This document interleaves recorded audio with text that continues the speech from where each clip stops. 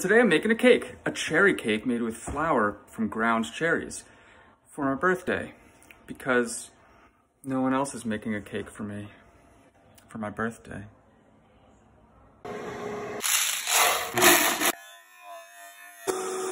Right, so we've got the flour and it smells like almonds and cherries and it's incredible. It's like, I can't wait to show you the end. So we'll mix our dries together.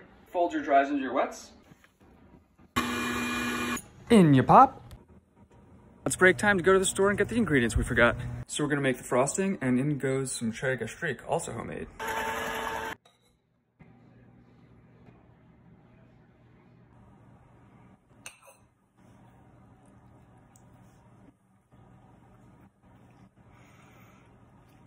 That's really good. It's almonds and cherry. It's straight cherry without being a pie.